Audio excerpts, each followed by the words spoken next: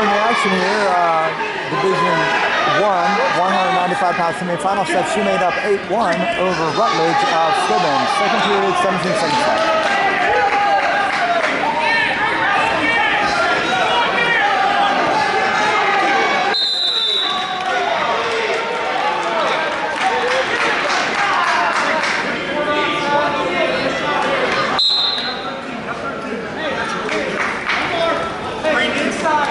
Hey, let's go. What are you waiting on? Do something right here.